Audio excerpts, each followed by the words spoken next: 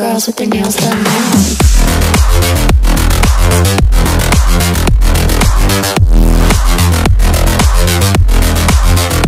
Girls with their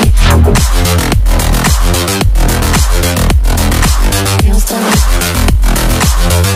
Girls with their nails done.